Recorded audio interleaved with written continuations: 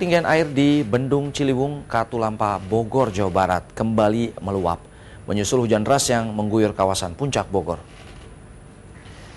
Ketinggian air di Bendung Katulampa, Bogor, Jawa Barat kembali naik di level 150 cm atau dengan status siaga 2, menyusul hujan deras yang mengguyur kawasan puncak Bogor, Jawa Barat. Diperkirakan air mengalir sebanyak 376 ribu liter per detik. Air kini tengah dalam perjalanan menuju Jakarta dan diperkirakan sampai pada pukul 10 malam nanti. Warga yang tinggal di sekitar bantaran Kali Ciliwung diminta waspada.